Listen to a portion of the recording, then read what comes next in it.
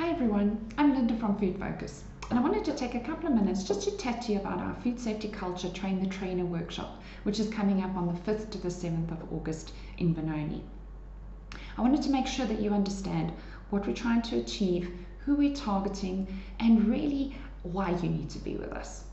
So firstly, the importance is to understand that this workshop is to enable you to understand the softer issues relating to food safety. You might have experienced this yourself.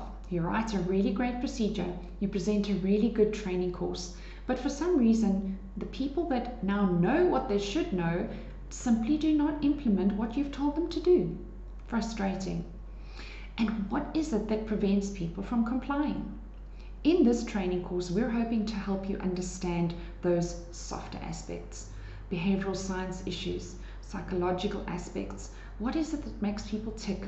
What motivates them? What makes them engage with the food safety management system? What are the tricks of the trade in that regard? Because that's the focus of the training course, we are wanting to invite food safety team leaders, food safety trainers, and food safety consultants to join us and owners of businesses. The purpose being to try and give you a set of tools to make you even more effective than what you currently are when it comes to helping your company or helping your clients. With regards to the program, it's jam packed full. We're starting on Monday evening with a cocktail function, get to know you, meet and greet, and already starting the program.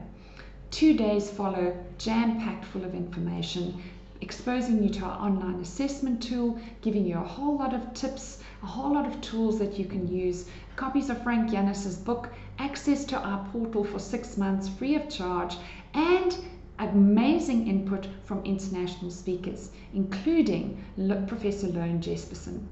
Lone has been involved with the Global Food Safety Initiative and setting up their position paper on food safety culture, and it's the very first time that she's going to be presenting in South Africa, and we're very excited about this. So, why not register? Why not go to www.foodsafetyculture.co.za and register for this great course? We look forward to having you and we look forward to together making a difference as far as food safety is concerned in South Africa. See you there.